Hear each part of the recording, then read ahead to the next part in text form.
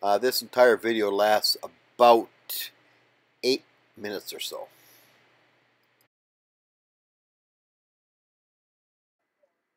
This is a freeze frame of the initial explosion that started the fire out at the Husky Oil Refinery.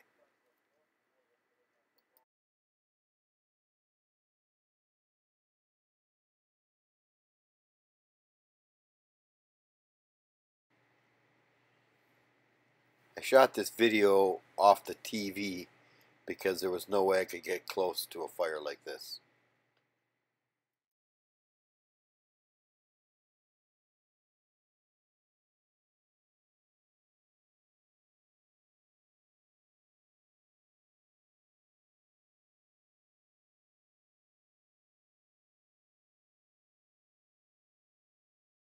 This started about 10 o'clock this morning.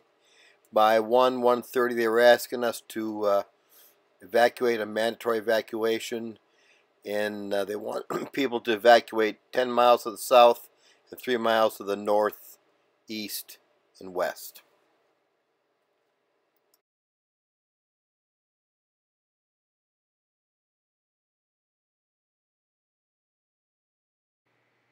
we're about a mile from the refinery, so we technically should have evacuated, but I just didn't see the wind moving any smoke towards us.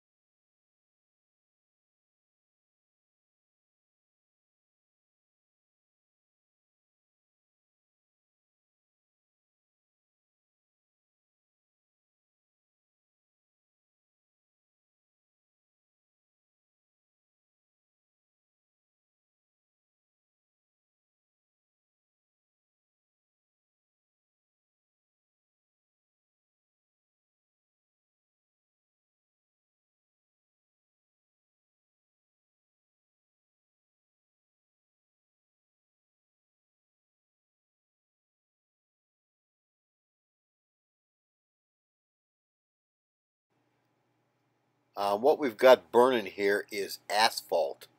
So that's why the smoke is so black and it is so hot.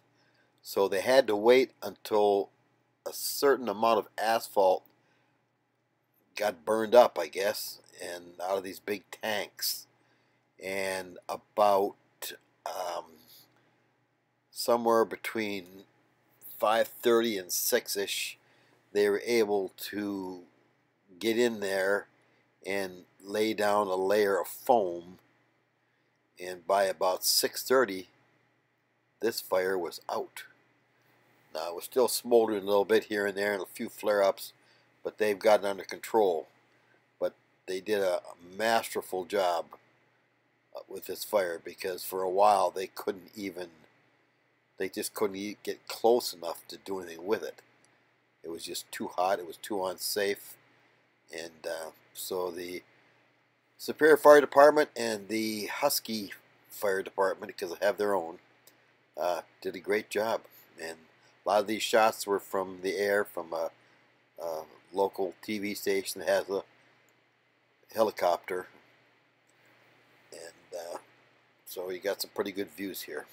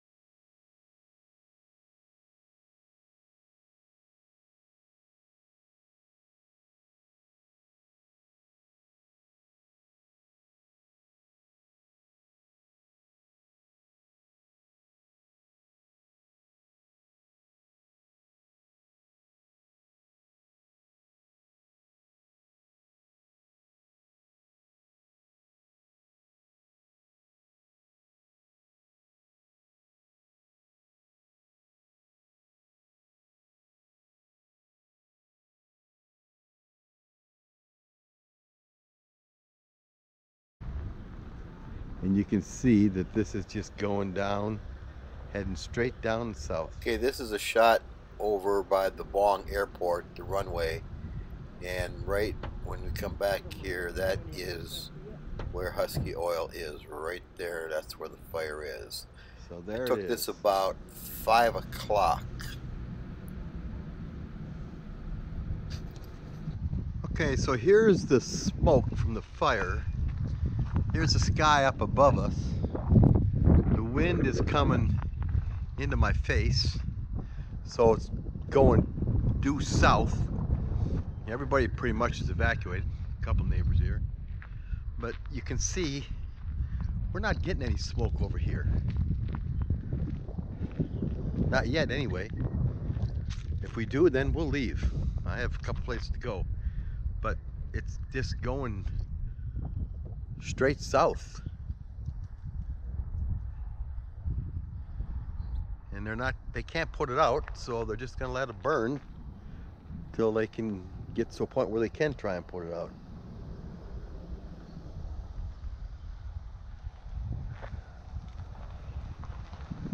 So that's kind of the story.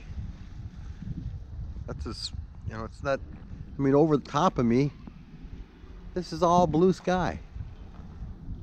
Everything is, is good. There's no, I don't smell nothing, anything.